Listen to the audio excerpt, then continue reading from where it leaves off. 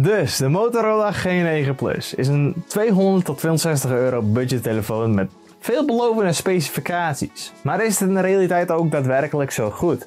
Je ziet het dus in deze video. Goedkope smartphones zijn echt goed geworden. En deze Motorola G9 Plus is hier ook geen uitzondering op. Op papier belooft het hele indrukwekkende specificaties, waaronder dus een Snapdragon 37G processor, 5000 mAh batterij, 30 watt opladen, 128 GB geheugen en 64 megapixel camera. Klinkt het ook allemaal gewoon super veelbelovend. Dus laten we eerst even beginnen met het design van het toestel. Ik moet bekennen, het design ziet er prima uit, maar ook nog niets echt heel speciaal. Het is best ook wel een big chunky boyo met een scherm van 6.8 inch. En het laat zijn randen ook vrij duidelijk zien. Alhoewel ik dit zelf eigenlijk niet zo heel storend vind om eerlijk te wezen. Het heeft een glanzende achterkant. Van plastic trouwens. Wat vrij snel vingerafdrukken laat zien. En waar snel krassen ook op kunnen komen. Wat voor sommigen heel vervelend kan wezen. Maar voor mij eigenlijk helemaal niks uitmaakt. Ik gebruik hier ook eigenlijk alleen hoesjes voor. Of tenminste, voor mijn smartphones gebruik ik alleen maar hoesjes. Verder heeft het toestel een volumeknop, een powerbutton met een fingerprint scanner, die trouwens echt super lekker snel werkt. Een Google Assistant knop die ik gehoopt had te kunnen veranderen naar iets anders. Maar helaas is dit echt alleen gebruikbaar voor dus Google Assistant. Een mono speaker aan de onderkant die op zich prima klinkt. NFC zit er ook in, dus als je mobiele betalingen doet kun je daarmee dus afhandelen. Een headphone jack, very nice. En een USB-C oplaadpoort die ook nog eens 30 watt fast charging ondersteunt. Even more. Nice. En dan gaan we nu over naar het scherm. Het scherm is zoals ik hiervoor al zei 6.8 inch. Wat echt fucking gigantisch is. Persoonlijk vind ik het een fijn, lekker groot scherm om mee te werken. En je kan hier natuurlijk content zoals YouTube of Netflix hartstikke goed en groot bekijken. Ook heeft het een Full HD scherm met een resolutie van 2400 bij 1080 pixels. En dit zorgt natuurlijk voor dat je scherm gewoon lekker scherp blijft. Het beeldschermpaneel is wel een LCD en geen OLED en het draait op 60 Hz. Dit is op zich te verwachten wel van een toestel tussen de 200 en 260 euro. En voor de rest er ook nog een camera gat in voor de 16 megapixel selfie camera. En dan gaan we over naar de prestaties. Draait dit toestel alles wel een beetje soepel of is het gewoon één grote stotterende bende? En ik kan zeggen, alles draait echt super soepel en responsief. En dat is voornamelijk door natuurlijk de Snapdragon 37G en alhoewel het maar 4 GB RAM heeft, heeft het toestel zich wel goed het mannetje gehouden met het multitasken. Browsen en door apps navigeren en game zelf was eigenlijk geen probleem voor het toestel en deed hij ook hartstikke keurig.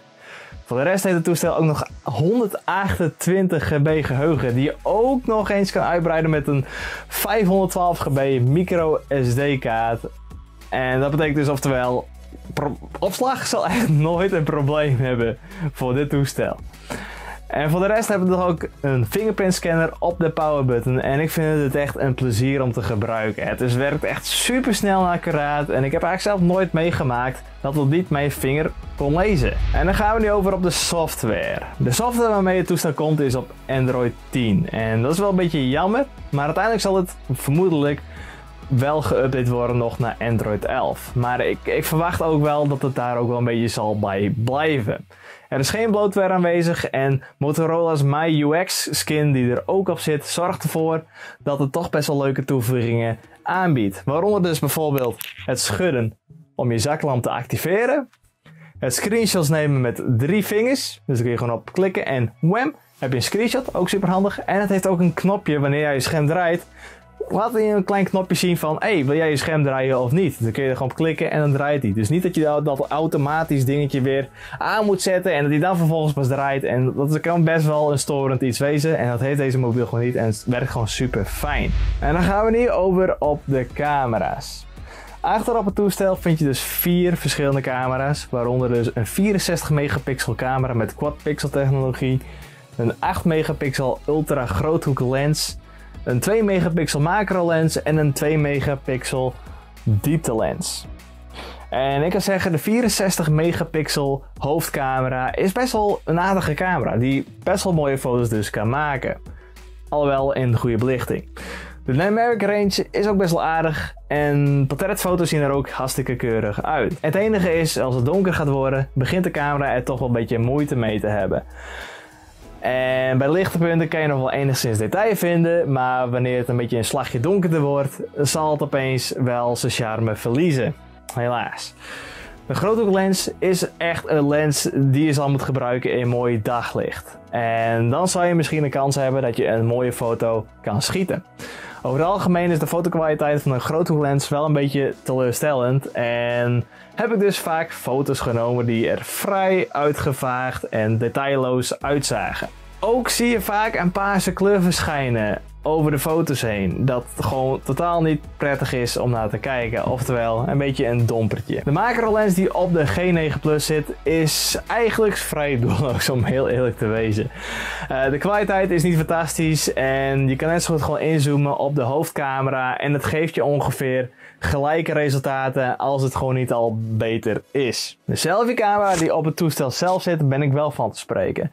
Alhoewel het in donker toch wel een beetje moeite heeft om goede detail te schieten, doet hij echt best wel super in daglicht. Er is mooi wat detail te vinden in de foto's en overal doet het gewoon hartstikke keurig. En dan gaan we over op het laatste punt, de batterij. Met een grandioze 5000 mAh batterij gaat de G9 Plus echt super lang mee. Wanneer je dagelijks actief gebruikt, heb ik gemerkt dat de batterij ongeveer 3 dagen meeging. En dat is allemaal met een schermgebruik van ongeveer 7 uur en 37 minuten. En ik had ook nog zelfs 14% batterij over. Is je batterij uiteindelijk leeg, dan kan de 30 watt turbocharger nog eens de batterij flink snel opladen. En ik had dus zelf uitgetest hoe snel die batterij dus vol ging. Dus na 15 minuten was de batterij ongeveer 27% opgeladen. Na 30 minuten was het ongeveer 56% opgeladen. Na 45 minuten ongeveer 80% en na een uur ongeveer 96%. En dat is best wel serieus indrukwekkend. En dat betekent dat je ongeveer na 20 tot 30 minuten opladen je mobiel gewoon weer een dag gewoon kan gebruiken. En dat is echt heel indrukwekkend en fantastisch. En I love it. En dan gaan we naar de eindbeoordeling. Hou wel rekening mee, ik beoordeel op een basis van 1 tot 3 sterren. Waarbij ook halve punten tussen gegeven kan worden. En ik geef de Motorola G9 Plus een dikke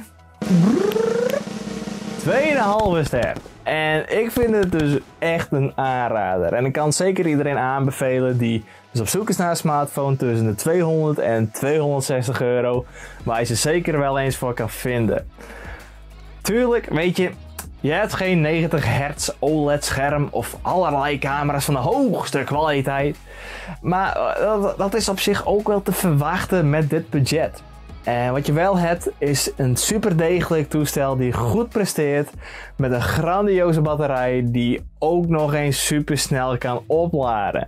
En over het algemeen vind ik de hoofdcamera en de selfiecamera goed werken en gaat zeker goed met de tijd mee en kan je hartstikke keurige foto's mee maken.